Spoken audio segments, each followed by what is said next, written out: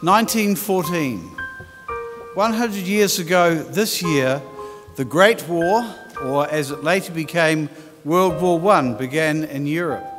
By the time the war finished in November 1918, millions of young European boys become men were slaughtered.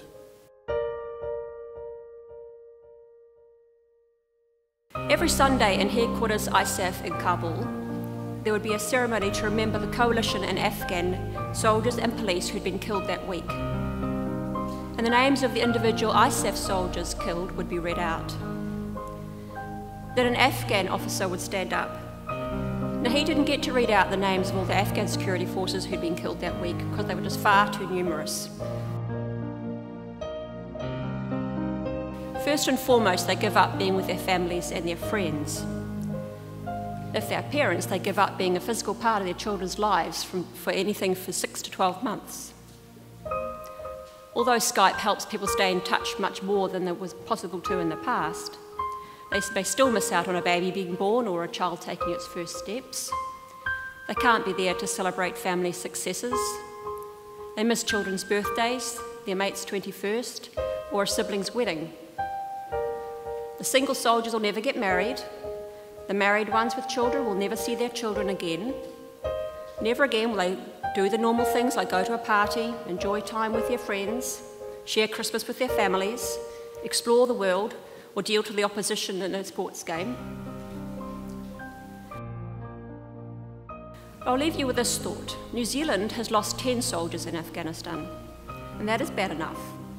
But Afghan families have lost thousands of sons and husbands, fathers and brothers, in the effort to make Afghanistan a secure and stable place. God, let us go into the world to live in peace. Help us to be brave and hold on to the good. May we not pay back wrong for wrong. May we support the weak and distressed and give respect to all. May we be grateful for all we have, all we do, and all that can be, as we pray these things in the name of Jesus Christ our Lord. Amen.